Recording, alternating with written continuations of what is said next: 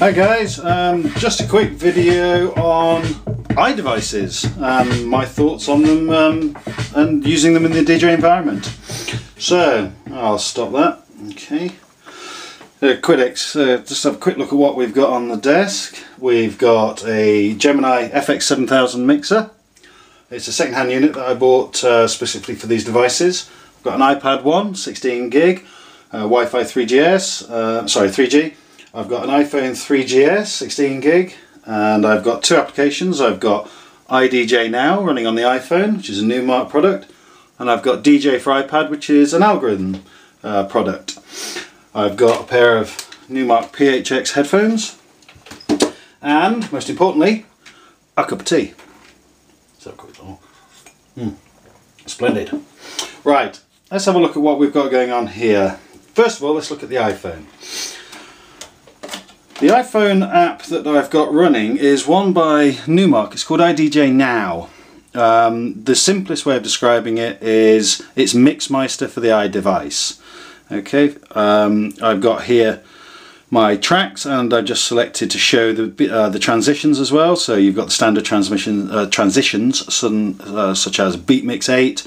Um, you can custom beatmix them, so that's moving the intro and outro points um, and bass swap. There's various standard transitions available and you can then customize it. If you rotate the screen you go to a much more familiar Mixmeister style layout where it shows you all your tracks and if it'll let me, there we go. You can see the intro and outro points there of those two tracks which can be adjusted manually if need be. Now the reason I have this in the system and in fairness, I actually take it along with my other setups as well, such as my CDJs, in the flight case here, um, or my laptop if I'm running Virtual DJ or Traktor, my MIDI controllers and so on. I put it into a spare channel on the mixer, just in case anything goes wrong. I've got this as a backup, it's a fail-safe. I can just push the play button and start, you know, push some music back out while I sort the problem out. The cable I'm using is a standard 3.5mm uh, stereo to twin phonos. There's two RCA connections on the other side which go into, on this particular mixer, go into channel 2 which is the center channel. Plug that in. So if I press play on there, there we go. That's about an hour long mix I did, um, I've done that previously and I always take it just in case. So I've got a couple of mixes on there that I use depending on the style of music I'm playing that evening. Um, the mixer, if we just have a quick look at this, it's a Gemini FX7000. It's a three channel mixer with an effects unit built in. Picked it up second hand off eBay. Um, I like the, brushed alloy finish and the fact it's got an effects processor in. Um, I'll explain why I wanted an effects processor built in um, because of the um, iPad application. I also have various other effects units but they're rack mounted and I tend to use those for more resident um, instances. The iPad, this is the main focus really of this video, and this application called Djay for iPad. What we've got is a traditional two deck turntable style layout.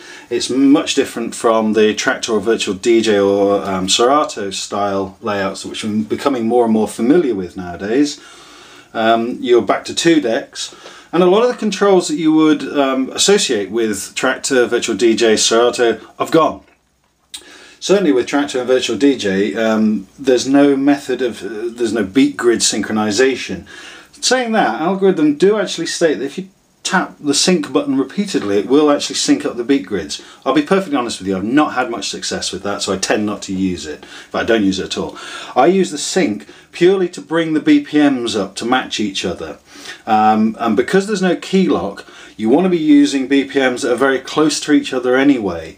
Um, I mean, the 10% rule, I wouldn't even go that far. You know, maybe two or three BPMs either way, I think is about the limit. Otherwise, you start to get that, you know, the Boris Karloff, Alvin the Chipmunk sort of sound going on. If we look at the app itself, what we've got is um, two deck controls. They're replicated both sides, and then we've got some general controls which cover the more uh, general aspects of the application. Quickly look at um, the controls for the decks. We have a volume control and a, U, a VU meter. You can see that one going up and down. I've got the crossfader off at the minute. and we've got stop we've got a uh, button for additional options which I'll show you in a moment BPM reading a pitch slider a sync button and a push and pull button we've got a start and stop button we've also got a slow start and slow stop if I actually bring the sound up on this one when I press the stop button or the play button again you can hear it's just a little bit of a wind down if I start it it's immediate now if I use the little light button here, it'll wind itself up.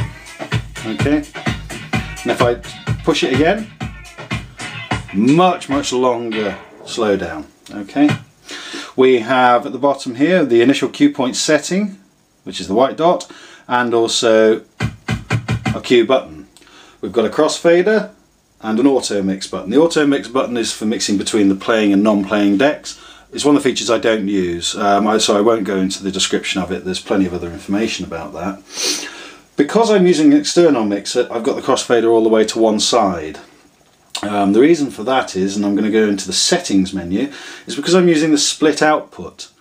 Now the split output takes the output from deck A and pushes it through the left hand channel of the stereo output, takes the output of deck B, pushes that through the right hand channel of the stereo output effectively creating two mono outputs.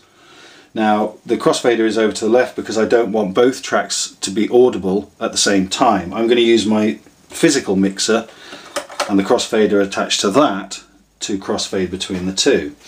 Whilst we're in the settings, we can have a quick look at the further settings. We've got transitions, which is for the auto mix. The speed slider, we have three different settings for that. So the range, we can adjust the range of the slider. This is the pitch slider. We can invert it and we can add, the, uh, add in the fine adjust setting.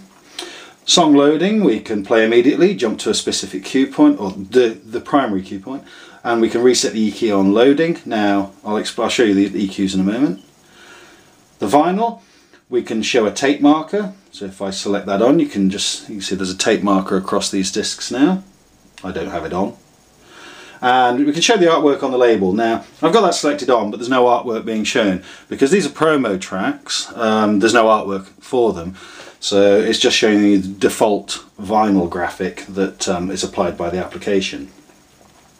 We've also got the library. Now I use a full screen library okay if I switch that off and I show you the library button which is these buttons either side of the decks that's in non full screen the drawback of that is it doesn't show you the BPMs so if we go back into settings, go into library, put full screen on, now select that, we can now see a much, much broader view of the tracks that we've got listed. These are in my iPod section of the iPad. They're not, you know, uploaded to some server and downloaded to the iPad via some HTTP method.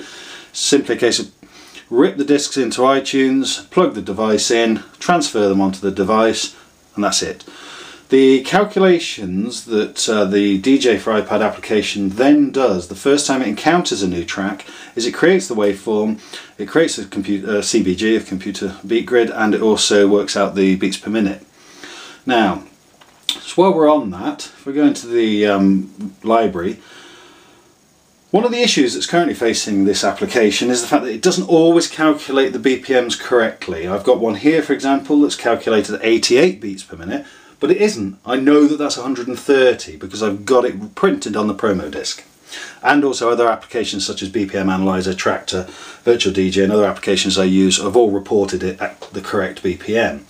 As it stands at the minute, there's no method of correction, but Algoriddim are aware of it and I believe that they are trying to solve that issue.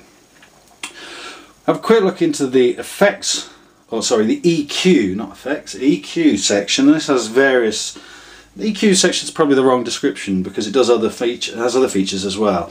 In the EQ tab, we've got low, mid, and high EQs and gain. Now I have those all across flat across the board because I'm going to use the external mixer to control those. And in the next section we have auto. We have the loop section, which is first page is auto loop. So four beats it's currently set at, and it goes from 1 16th of a beat to 32 beats. So you just press the button, and wherever it is the play, wherever the um, playhead is, it'll just start looping from that point onwards. The next page within the looping section is manual loop, so in, out and re-loop. And the next page is bounce loop. Now I'll actually play the track so you can hear what this does. When I press the buttons, it will loop of loop that value only whilst the button's pressed.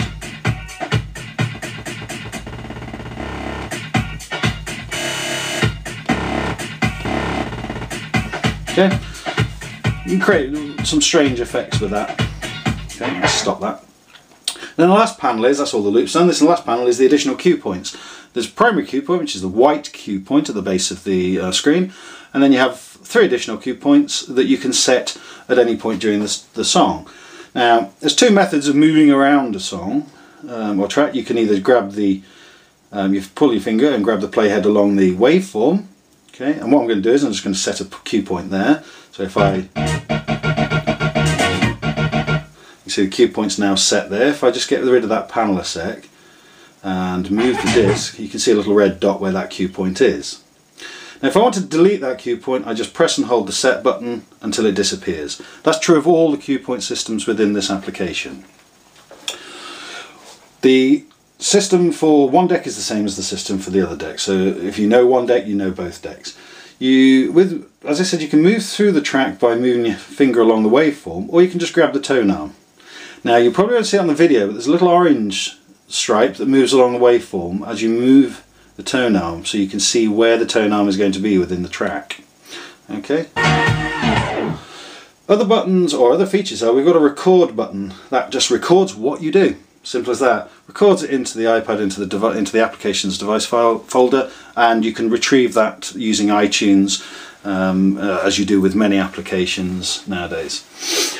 Now, let's have a quick chat about this this cabling because, bear with me one second, just want to move this power socket out of the way. If I put that down there. There we are, that'll do for the moment. Right, let's talk about this cabling. This is to create the split output from the iPad. What we have is a 3.5mm stereo connector, which goes into the iPad.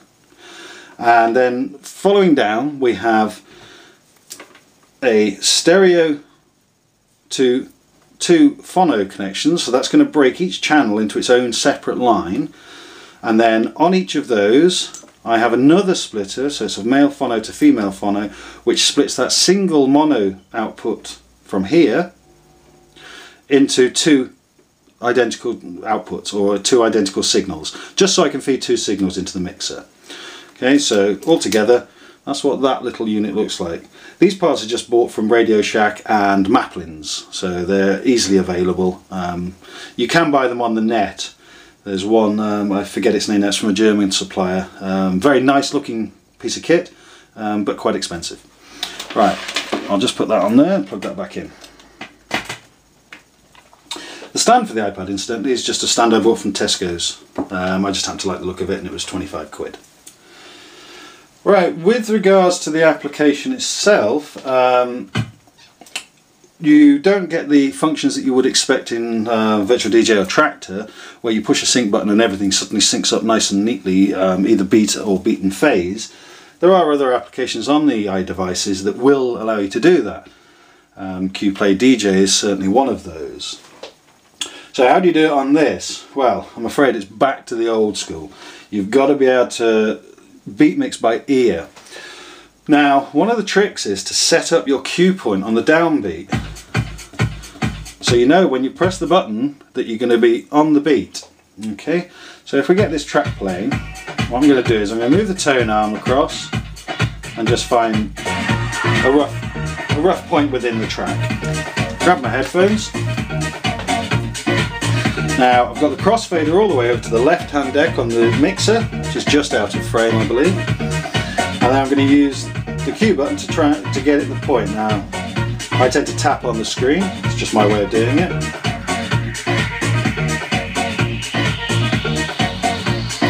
One, two, three, four, one, two, three, four. Right, take the bass out on that side.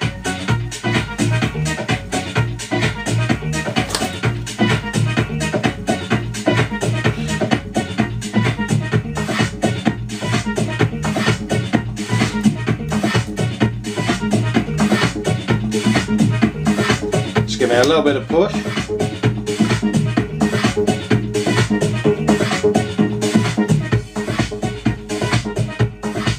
Take the base out on the outgoing deck. And start moving the crossfader across to the incoming deck.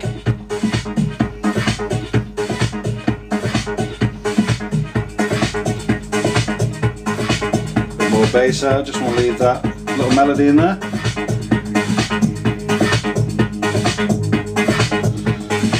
There we go. It's a very simple demonstration, not saying it was perfect, but there we go. Right, one thing I will quickly show you is why I have the, um, I'll show you kind of real world instance of why I have the iPhone in. So what we'll do is we'll be playing, we're playing happily along with our Djay for iPad and suddenly it goes wrong. Oh God, quick, press the button on the iPhone. Okay, now I've got an hour's mix available to me that I've predetermined that allows me to then sort out this problem so I can start working out what's going wrong. Um, I can use the PFLs on the mixer to try and you know get the sound back out or restart the um, iPad or restart the app or whatever else, whatever you know issues come up. Um, that's about it really. Didn't worry go into too much, but um, hope you enjoy. Take care. Bye.